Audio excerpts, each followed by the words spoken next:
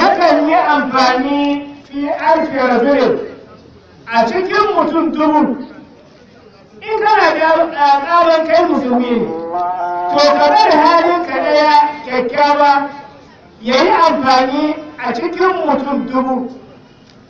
Ya ce amfani wanda wa'azin nan na mutum dubu ba zai yi wannan amfani a cikin mutum ɗaya ba. Mutum dubu za ka yi wa'azi ga mutum ɗaya wa'azin nan bai yi natija ba amma hali ɗaya kyakkyawa za ka yi amfani a cikin mutum dubu ba tare da an buɗa baki ba kana ɗaban kai musulmi ne ɗauki halinka ka bari ya burge a lokacin wannan halin nan a shigo dinin islam wannan shine message ɗin sarki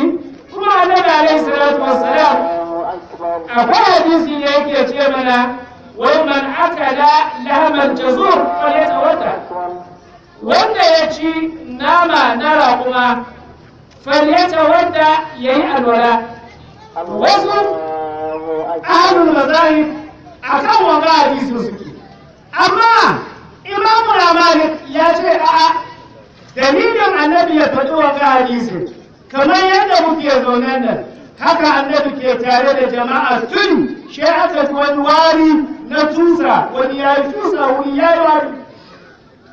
Ana zaune haka shi ga sallah ya kai za a yi ba a samu mutum ɗaya cikinmu ya fita ya je ya gyara alwala ba.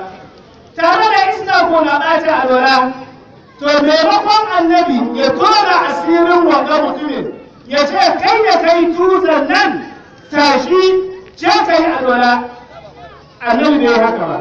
Kaddara kamar yau a jiya an yanka wata raƙuma a madina. Raƙuman nan kowa ya ci raƙumin nan. Mafi yawan jama'a an ci naman raƙumin nan. Annabi maimakon ya ce wanda ya yi in iska bai ce haka ba shi ce a jiya cikinku. Wanda ya ci naman raƙumin nan to ya je ya sake alwalar shi.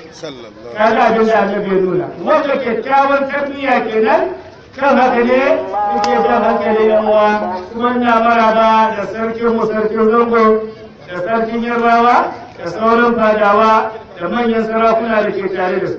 Eh, tarbiyya, ku ci gaba da